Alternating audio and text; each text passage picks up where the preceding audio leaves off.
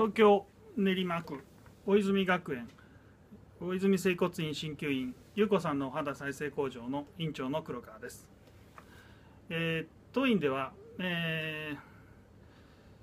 ー、院内に、えー、優子さんのお肌再生工場という、えー、エステサロンを併設してやっております、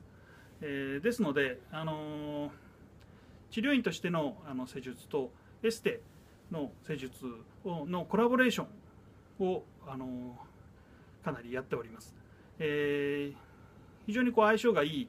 よく効果が、あの高く出るケースが多いので、あのお勧めさせていただいていることが多いです、え例えば、え下半身のあのリンパダクトのケアと骨盤調整の組み合わせですとかあとフェイシャルのあのエステと、えー、フェイシャルの美容鍼灸美容芯の針の組み合わせなどはあの非常にあの評判が、えー、高いです、えー、効果もあの強く出ることが多いですね、